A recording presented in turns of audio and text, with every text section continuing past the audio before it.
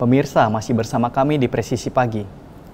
KBRI di Washington DC menggelar acara iftar atau buka puasa bersama mengundang berbagai pihak termasuk perwakilan pemerintahan AS.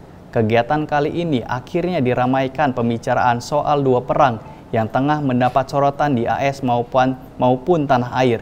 Berikut laporan Rifandi Dwiastono dari VOA. The Takjil War.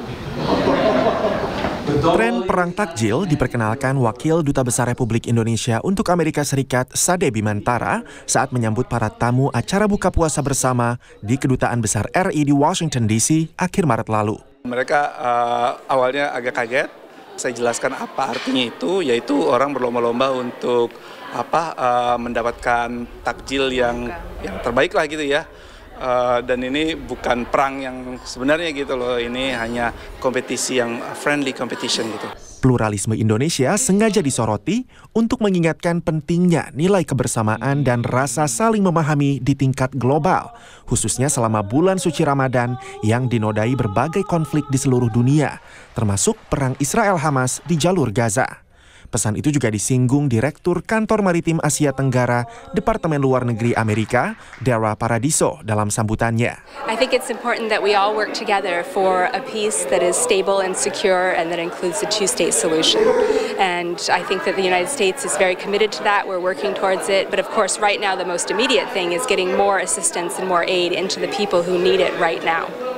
Iftar KBRI tahun ini digelar secara lebih intim untuk membuka lebih banyak ruang dialog. Untuk ngobrol-ngobrol dari hati ke hati gitu ya, termasuk terkait dengan berbagai isu yang uh, mungkin agak sulit gitu.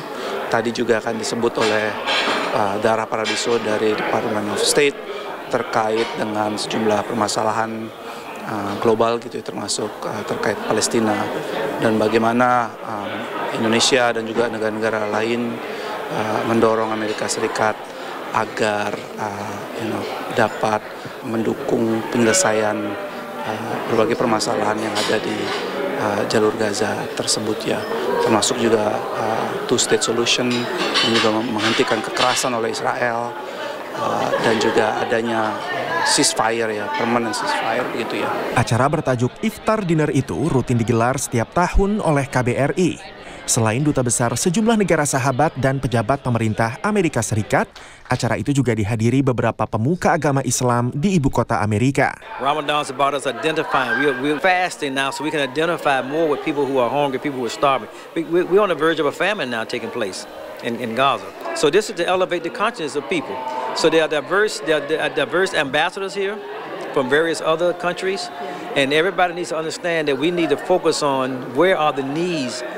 of human beings on the planet. We have to be conscious of that.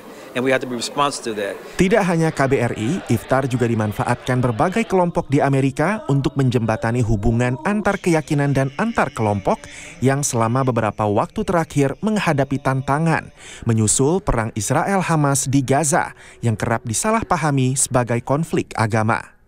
Dari Washington DC, Rifan Dwi Astono, Eva Mazrieva, VOA. Pembelanjaan konsumen AS terus bertambah di tengah tingginya laju inflasi. Meski banyak konsumen semakin sadar harga dan memilih produsen berharga rendah untuk industri pakaian, tren ini cukup mengkhawatirkan produsen pakaian menengah ke atas dan juga dikhawatirkan analis bisa berdampak luas. Berikut laporan Nova Purwadi dari VOA. Pemasukan dua peritel pakaian terbesar dunia akhirnya melebihi ekspektasi analis, seperti terlihat dalam laporan keuangan masing-masing. Inditex, pemilik jaringan toko pakaian Zara, melaporkan peningkatan penjualan pada awal kuartal pertama 2024. Sementara penjualan retail pakaian kedua terbesar H&M turun lebih sedikit dari perkiraan analis. Overall, we're seeing the consumers stay fairly resilient despite the fact that we've had some elevated inflation prints really over the last couple of years. However, as we've looked over the last couple of quarters, we have seen some uh, weakening of behavior, particularly among the lower income cohorts. And so it is really going to be key to see whether that behavior starts to extend into some of the middle income and also affluent client segments as well, again dampening some of that momentum. Penurunan pembelanjaan konsumen tercermin dari laporan keuangan sejumlah perusahaan pakaian yang lebih identik dengan konsumen menengah ke atas. Adidas melaporkan kerugian pertama dalam 30 tahun, sementara Nike memproyeksikan penurunan penjualan. Retail pakaian lari dan yoga Lululemon juga merevisi proyeksi pemasukannya ke depan lebih rendah dari ekspektasi. Lululemon's customer isn't necessarily indicative of the main median customer and consumer here in the U.S. Um, nonetheless, uh, that consumer continues to disengage and perhaps even trade down or um, not make the type of purchases they were making over the past two or three years. Um, that would pose its own challenges to economic growth. Awal Maret, Hugo Boss juga memproyeksikan penjualan yang jauh dari ekspektasi semula. Bersama makanan dan perumahan, pakaian adalah kebutuhan primer bagi konsumen. Tapi di tengah tingginya laju inflasi, pembelanjaan untuk pakaian pula yang lebih sering dikorbankan.